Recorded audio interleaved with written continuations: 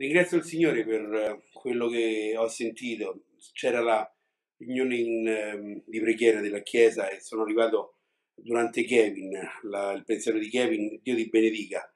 Ehm, mi è piaciuto, dammi il tuo cuore. Eh, mi è piaciuto Antonio, Dio ti benedica, veramente, mi è piaciuto tutto. Me li sono fatto mandare direttamente, no? questo figlio, discepolo, sacerdote, guerriero, governatore e padre.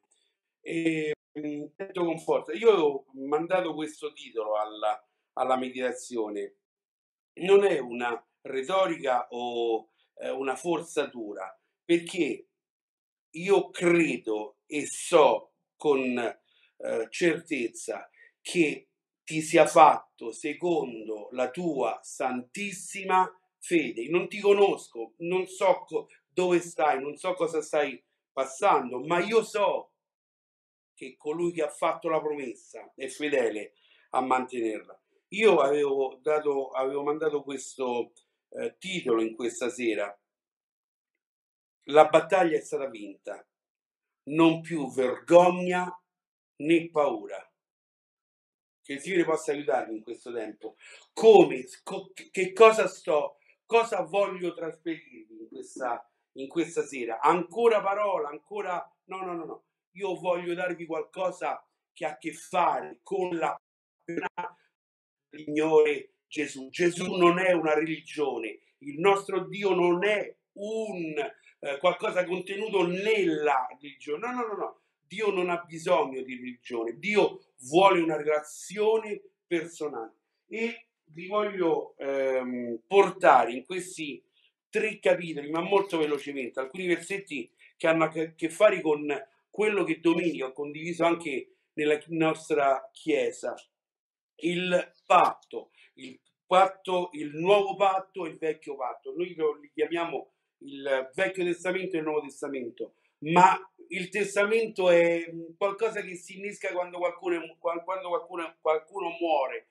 In, in ebraico era il patto. Il nostro Dio è il Dio del patto. Ha fatto un patto con Noè, ha fatto un patto con Mosè, ha fatto un patto con Abramo, ha fatto un patto con Davide e noi siamo quelli del nuovo patto e mi piace quello che ho sentito in precedenza, ma vogliamo andare in questi versetti eh, di Isaia, capitoli 52, 53 e 54. Ti invito a leggerlo con calma. Questa sera, quando finisce, leggi questi versetti. Sono tutte parole profetiche riguardo al Signore Gesù e a tutto quello che si innesca da lui in poi.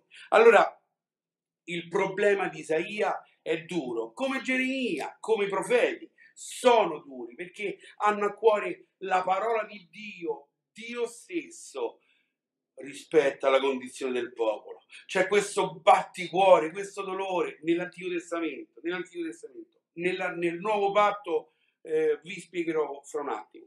Allora, perché dice Isaia, in altre parole, perché i sacerdoti non dicono chi sono io?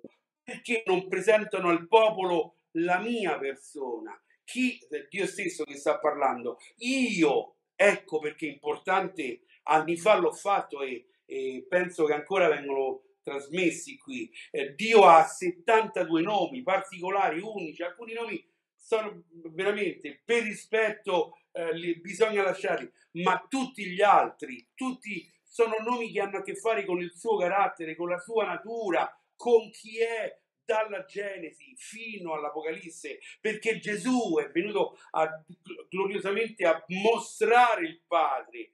Quello che ha fatto Gesù è il, nel carattere o nel nome di Dio.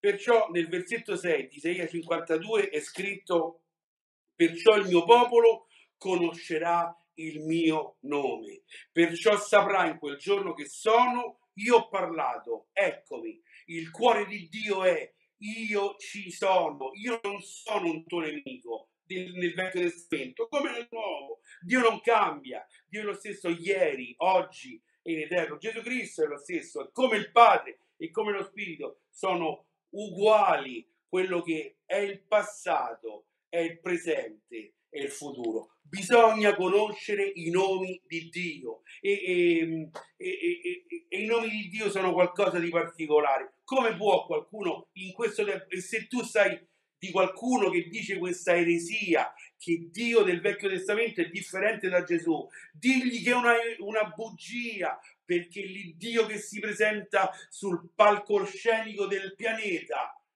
è il Signore Gesù, Lui è la parola, il Padre, il Figlio e lo Spirito Santo gloriosi da Genesi 1.1 c'è questa intensa, gloriosa, appassionante e passionale manifestazione di Dio e l'umanità che fa lo bestemmia per colpa tua ho sentito che qualcuno stava evangelizzando una parola in, una fila alla cassiera di un supermercato. Eh, se ci fosse Dio, ma quante gliene dico?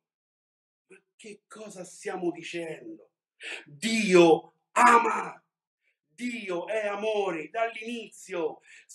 La, la, la, cosa che viene sempre omessa, che i nostri sbagli hanno delle conseguenze e solo l'amore di Dio può cambiare il nostro passato, presente e futuro, ma le, ehm, le, le reazioni purtroppo per colpa mia, per colpa nostra, per colpa dell'uomo esistono tutte eh, queste cose uniche e particolari. Il mio popolo conoscerà il mio nome. Potrei andare a, a memoria, il suo nome qual è? L'Eterno che santifica. In Gesù, Lui è la mia santificazione. Nell'Antico Testamento Dio stesso vuole Israele in se stesso per santificarlo, ma non esteriormente, metterti da parte, metterlo da parte in sé, perché Israele doveva essere la luce di Dio in quelle nazioni. Io sono l'Eterno che provvedo, l'ha detta ad Abramo. Io sono quella, quella gloriosa realtà che quando tu mi invochi con il cuore, io sono presente. Uno dei nomi, non so se l'ho detto, che mi fa impazzire è Yahweh Shamma, come lui è qui in questo momento, in questa stanza, lui è lì dovunque tu sai. C'hai un cuore che dolorante, Dio è vicino a te. Dagli il tuo cuore in questa sera, daglielo con tutta la tua passione. Se tu sei arrivato fino a questo punto è solo per la sua gloriosa grazia ma dai il tuo cuore. E poi qual è un altro nome di Dio? Dio degli eserciti, Shabbat, Yahweh Shabbat, lui vuole combattere per te, lui vuole prendere la tua vita e metterla radicata nella rocca eterna, la gloriosa realtà o il glorioso lavoro del nostro Signore. È un lavoro che parte prima della nostra nascita e arriverà fin dopo, e quando non ci saremo più su questa terra, perché Lui è l'Eterno glorioso. Versetto 7, quanto, sempre 52, quanto sono belli sui monti i piedi del messaggero di buone notizie che annuncia la pace, che araldo di notizie liete, che annuncia la salvezza, che dice a Sion, il tuo Dio regna. E bisogna farlo anche nella Chiesa. A volte ci siamo... Kevin ha detto una cosa, Simone ho qualcosa da dirti. Dio non usa le prove le tribolazioni. Non è come papà mio o come i nostri padri, no? O come le nostre mamme. Vieni qua, bello di mamma. Non te faccio niente. A Roma, perdonate il mio, il mio francesismo romano. Ma Dio, per il credente, usa la parola. Non l'ho detto, se, poi, se possiamo aprirla in secondo Timoteo, capitolo 3, versetto 16. È un versetto particolare Dio non è il nostro nemico, è il nostro ogni scrittura, è ispirata da Dio, è utile a sottolineare questi verbi, a insegnare, a riprendere, a correggere, a educare alla giustizia. Se tu sei figlio, Questa è la nostra eh, educazione, la nostra istru- istruzione. Se tu sei un guerriero, è la parola dello Spirito che prima a me, che devi tagliare, prima a me, e poi essere usato sempre, verità con carità. È la scrittura, è la parola che mi mette la parola giusta al momento giusto per gli altri. Questo sacerdozio reale. Il tuo Dio regna, i fratelli e sorelle, amici, se sei qui per la prima volta, Dio sta regnando, Dio sta regnando intorno e tutto quello che accade non è per colpa sua, tutto quello che accade è colpa dell'uomo, Dio ha dato all'uomo il dominio e lui sta eh, consumando questa nostra creazione, lui sta calpestando i diritti eh, dei, dei, dei più silenziosi, dei più accantonati e messi da parte, ma io devo ricordare che Dio regna. Ecco, venga il tuo regno. Dove, Signore? Nel mio cuore. Dammi il tuo cuore, perché solo là, nell'unione fra spirito e anima, c'è la realtà gloriosa che Dio vuole da ciascuno di noi. Versetto 10, 52, 10. Il Signore ha rivelato il suo braccio santo agli occhi di tutte le nazioni, tutte le estremità della terra vedranno la salvezza del nostro Dio. Versetto 14. Come molti, vedendolo, sono rimasti sbigottiti, quanto era, tanto era disfatto il suo, il suo sembiante, al punto di non sembrare più un uomo, e il suo aspetto, al punto di non sembrare più un figlio d'uomo. Se noi possiamo parlare di grazia è perché lui ha pagato il prezzo, lui è stato sfigurato. La, la, la tortura romana prima della crocifissione era, era incredibile, quella, quella coda, eh, quella, quella frusta che aveva alla fine dei, dei, dei pezzi di osso dei, um, dei, dei, pezzi di ferro e quella frusta ha arato il dorso, la schiena del mio Signore. Oh, benedetto Dio, che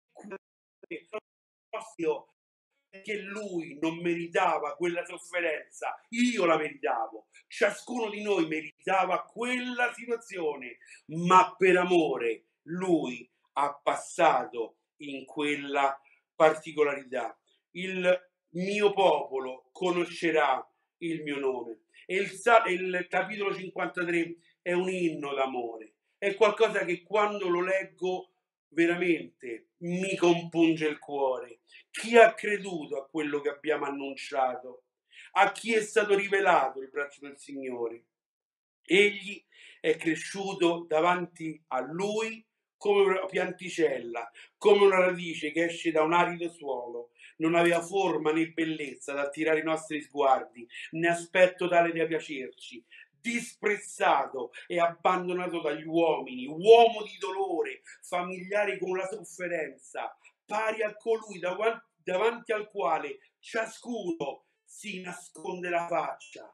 Era spregiato e noi non ne facemmo stima alcuna Tuttavia, erano le nostre malattie che egli portava, erano i nostri dolori, quelli di cui si era caricato, ma noi lo ritenevamo colpito, percosso da Dio e umiliato. Egli è stato trafitto a causa delle nostre trasgressioni, stroncato a causa delle nostre iniquità. Il castigo per cui abbiamo pace è caduto su di lui e mediante le sue lividure noi siamo stati guariti. Noi tutti eravamo smarriti come pecore, ognuno di noi seguiva la propria via, ma il Signore ha fatto ricadere su di lui l'iniquità di noi tutti. Perché in questa sera sto dicendo che la battaglia è stata vinta e io e te non dobbiamo più vergognarci né avere paura. Lo sapete perché?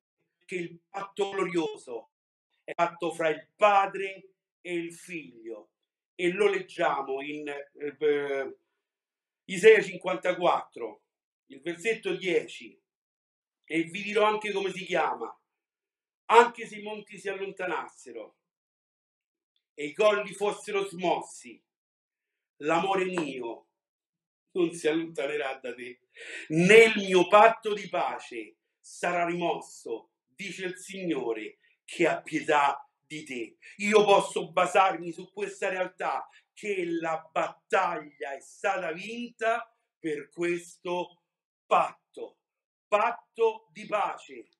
E l'Onnipotente dice, dice il Signore, che ha pietà di te. E io ringrazio, perché, io ringrazio con cuore grato perché Lui ha avuto pietà di me. Lui sta avendo pietà in questo momento. In questo momento il nome di Gesù sta dando la salvezza, sta salvando, sta benedicendo, sta battezzando, sta liberando, sta creando tutto quello che è il regno di Dio dai cieli sulla terra. Allora in questa sera non so dove tu ti trovi. Ho ricevuto qualche contatto, qualche, qualche messaggetto. Sto perdendo la fede. Prega per me. Ti prego, non perdere la fede. Lo sai cosa serve a rinnovare la fede?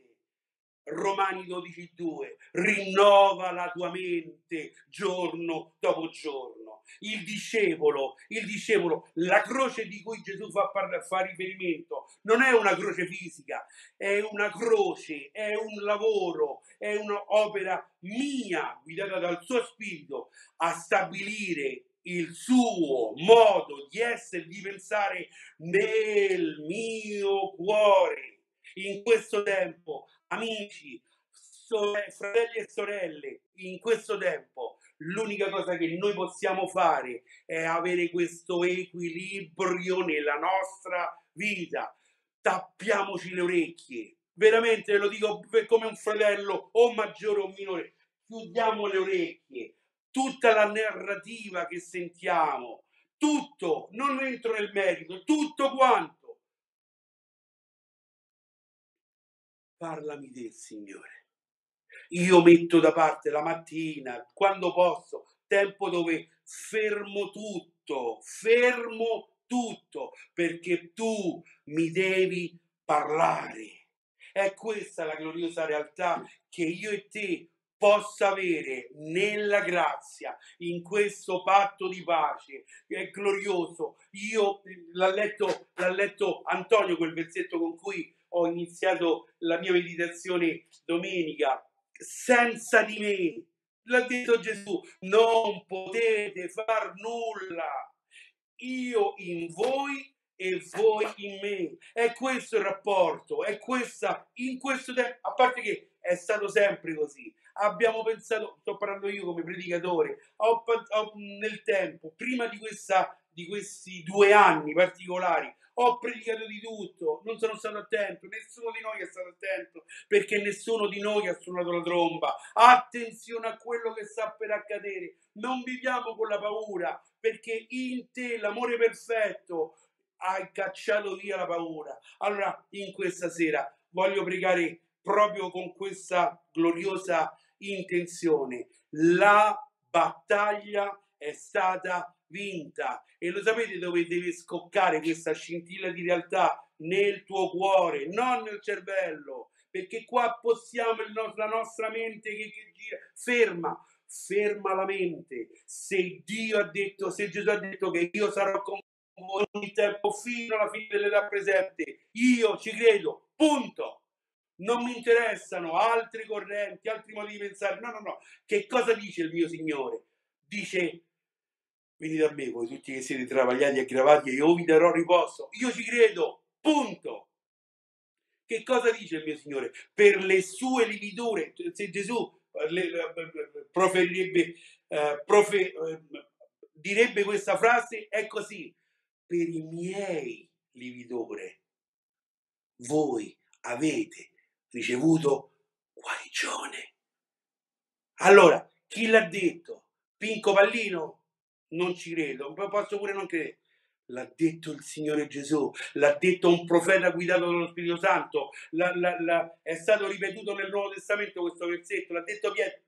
Io credo in quello che Dio dice a ciascuno di noi, a me. Allora, le promesse, io le do a memoria, fratello Grebe, Pastore Crociani, no, no, no, no, fin quando quella promessa non, sa, non, si manifesta, non si concretizza, non prende vita nel tuo cuore, è chiacchiera.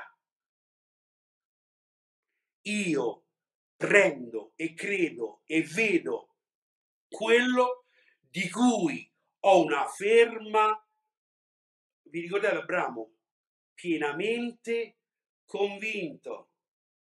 Ci ha messo 25 anni, eh? dalla promessa alla nascita, ma pienamente convinto. E in questa sera io ti prego, chiedi al Signore, chiedi allo Spirito Santo e ricerca il battesimo dello Spirito Santo. Non è un bla bla bla, un balbettio, no, no, no, no. La guida del suo Spirito una guida ehm, eh, intenzionale, intenzionale. Tu in, puoi fare cose gloriose. Voglio pregare per te. Io non so dove stai, ma io conosco chi è la risposta. Lo conosco personalmente.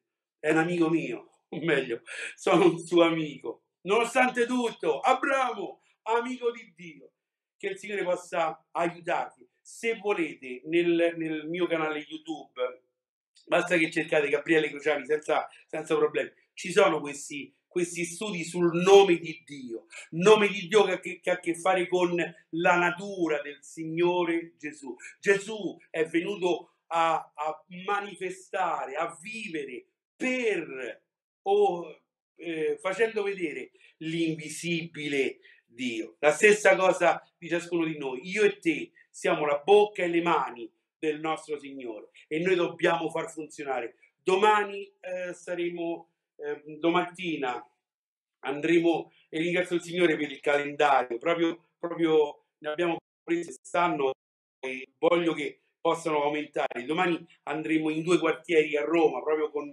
questo, domani mattina, pregate per noi, durante la, la, la, la predicazione pregate per me, proprio con questo gruppo di fratelli e di sorelle andiamo per le strade con questo calendario. Perché? Perché l'avanzamento del regno è un nostro compito. Discepoli fanno, guerrieri combattono, padri generano. E io credo fermamente questo qua, che tutta la battaglia è stata vinta. Tu non devi essere più coperto di vergogna, perché chi è in te ha vinto il mondo. Tu non devi avere più paura, perché? Perché colui che è in te ha fatto di tutti i demoni, del bugiardo, di Satana, un pubblico spettacolo. Prendi vittoria, portalo nel tuo cuore, inizia a, essere intenzionale nel, nel nostro servizio al Signore. E voglio pregare, Signore, in questo momento la parola è stata data. Grazie per i fratelli che mi hanno preceduto. Grazie per ogni parola perché quando c'è la tua parola è qualcosa che esula dal nostro modo di essere e di pensare. Signore, la tua parola è l'Evangelo e l'Evangelo è la buona novella e l'Evangelo è qualcosa che ha a che fare con, con la tua persona. Signore, non sono chiacchiere, non sono discorsi motivazionali, non sono eh, ehm, discorsi di autodeterminazione. No, no, no, no, no, no, no. Si sta parlando di te, del tuo essere, quello che tu vuoi. E tu usi dei canali umani. E noi ti ringraziamo di questa opportunità. Ma, ma, è il tuo messaggio che deve arrivare all'estremità della terra voglio tu benedire grandemente chi sta ascoltando in questo momento. Signore, fatti vedere, esattamente come ti sei fatto conoscere da milioni di persone, in ogni tempo, in ogni luogo. Qualsiasi peso si stanno portando o viene portato, io so, io so che Tu sei colui che non schiacci, anzi ci rialzi. Tu ci dai un valore mentre il bugiardo ci calpesta. Tu hai dato a noi un nome, nome nuovo, nuovo per il bugiardo. Siamo tutti abbassati fino alla morte. Signore, io ti ringrazio di questa sera, grazie di questa opportunità. Voglio benedire grandemente fratello Cataldo, Signore, come Jonathan, come Matteo, ma Marco, tutto il team di Parole di Vita, tutti quanti, Michele, eh, i due Micheli, il, eh, Marianne, Signore, tutti quanti, perché in fin dei conti si sta lavorando per l'avanzamento del tuo regno. Signore, Parola di Vita, un, un faro nella notte, Signore, una bussola che indica solo una direzione. Grazie per il, il fratello Narducci, per Antonio, per Kevin in questa sera. Ma grazie a Dio, grazie a te che l'Evangelo non si ferma. Va avanti, va avanti in maniera rutilante, in maniera gloriosa. E noi vogliamo fare la tua volontà.